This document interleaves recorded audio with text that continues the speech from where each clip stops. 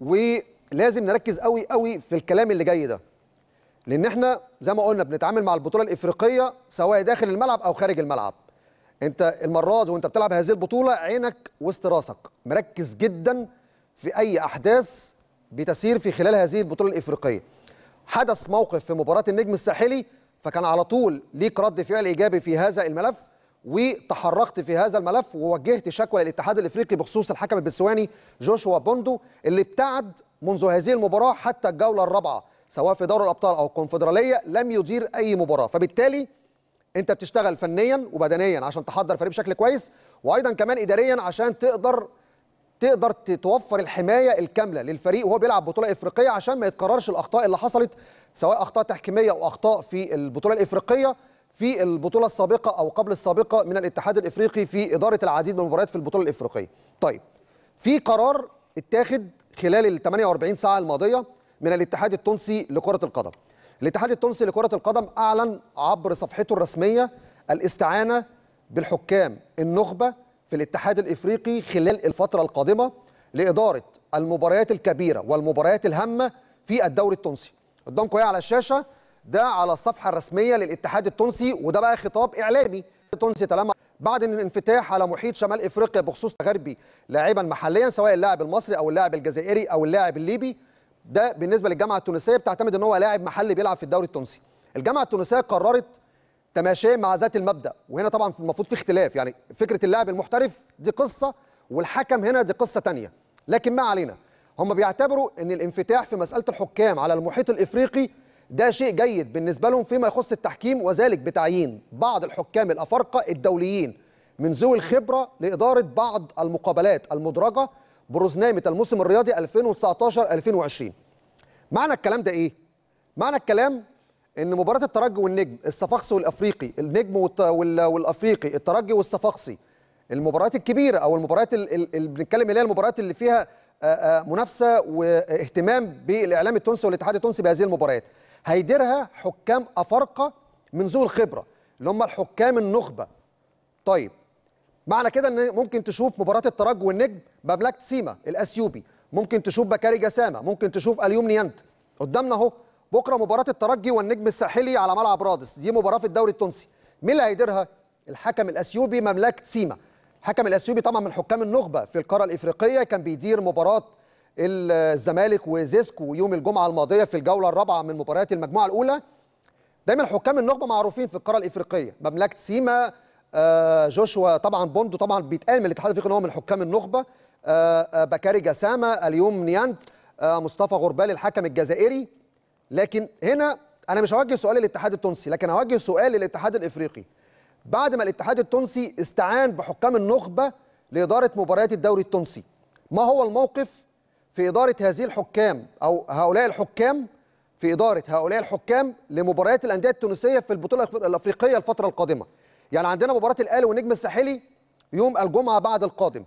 هل حكم من الحكام اللي هيديروا مباريات في الدوري التونسي وهيكونوا مقيمين في الفترة الجاية في الدوري التونسي؟ ممكن نلاقيهم في مباريات الأندية التونسية مع الأهلي في البطولة الإفريقية؟ ده تساؤل. إحنا بنطرحه في التوقيت الحالي وبنوجهه للاتحاد الإفريقي في الفترة اللي جاية. إيه الوضع في هذه المسألة؟ لأن بعد خطاب النادي الأهلي للاتحاد الإفريقي في الفترة السابقة عن أداء بعض الحكام في المباريات الإفريقية الاتحاد الإفريقي تدارك الموقف وابتدى يسند عدد من المباريات في البطولة الإفريقية لحكام صغير السن آه واعدين بالنسبة للبطولات الإفريقية في الفترة القادمة تنفيذا لرؤية آه آه جاني إنفانتينو رئيس الاتحاد الدولي لما قال لازم نستعين ب 20 حكم صغيرين في السن لسه حديث العهد في القائمة الدولية نبدأ نعتمد عليهم في الفترة اللي جاية. فبالتالي انت داخل بقى على مرحلة الأدوار النهائية ومرحلة الجولة الخامسة والسادسه تبدأ بقى تشوف مبلاك سيما هتبدأ تشوف أليوم نيانت هتبدا تشوف بكاري جسامة. شفت مصطفى غربال في مباراة النجم الساحلي والهلال السوداني وإزاي حكم خبرة آه عنده آه قدر كبير من الذكاء والتعامل في المباريات الكبيرة. كان موجود في مباراة كبيرة زي دي لكن طبعا خارج تونس كان موجود في السودان. فمباراة الأهلي القادمة مع النجم أكيد هيجي لك حكم اسم كبير آه ذو خبرة كبيرة. ممكن ببلاك سيما ممكن بكاري جسامة. طبعا التوقعات كتيرة. لكن خلال الساعات الجاية هيتضح بشكل رسمي مين هو الحكم. لكن هو السؤال اللي بنوجهه للاتحاد الافريقي في التوقيت الحالي. هل هيتم الاستعانة بحكام النخبة الإفريقية اللي بيديروا مباريات في الدوري التونسي عشان يحكموا مباريات الأندية التونسية مع الأهلي في البطولة الإفريقية؟ ده سؤال هنشوف إجابته في الفترة اللي جاية. أنا بطرح السؤال ده ليه؟ لأن في جزئية مهمة جدا الاتحاد التونسي خدها أو قرار مهم جدا خده خلال الساعات الماضية. وده اللي خلاني أضع هذا الاستفسار أمام الاتحاد الإفريقي. الاتحاد التونسي أرسل حكامه إلى مصر خلال العشرة أيام الماضية في معسكر في إسماعيلية. الحكام التوانسة صفوة الحكام التوانسة اللي أرسلوا لمصر لإقامة معسكر تدريبي في مصر كان من خلال ماسيمو بوساكا الحكم صاحب لجنة التطوير أو المسؤول عن لجنة التطوير في الاتحاد الدولي هو المسؤول عن هذا المعسكر وإقامة محاضرات نظرية وعملية للحكام التوانسة. وكان بيساعده في هذا الملف الكابتن جمال الغندور والكابتن عصام عبد الفتاح. اذا الاتحاد التونسي عنده مشروع للاعتماد على الحكام التوانسة في الفترة اللي جاية. بل بالعكس ذهب إلى جزئية مهمة جدا وأتمنى حتى في الاتحاد المصري ناخد هذه الخطوة في الفترة الجاية. تم اختيار 20 حكم من حكام الصفوة في الاتحاد التونسي وتم توقيع عقود احتراف معاهم عشان يديروا مباريات في الدوري التونسي في الفترة اللي جاية. اذا أنت كاتحاد تونسي خدت قرار في تطوير التحكيم التونسي خلال الفترة الجاية وبدات الاعتماد على أهم 20 حكم ووصفتهم بأنهم حكام محترفين في الفترة اللي جاية ووقعت عقود معاهم في الفترة اللي جاية عشان يديروا مباريات الدوري التونسي. فأنت على مستوى التحكيم المحلي خدت إجراء ذكي وطيب ونتمنى في مصر ناخد هذا الإجراء وأنا بحيي الاتحاد التونسي على هذا الإجراء. لكن في نفس الوقت وأنت بتاخد هذا الإجراء خدت إجراء تاني بأنك هتستعين بحكام النخبة الإفريقية بداية من الغد حتى نهاية الدوري التونسي. يعني إحنا بنتكلم في مرحلة مهمة جدا من مشوار البطولة الإفريقية في التوقيت الحالي.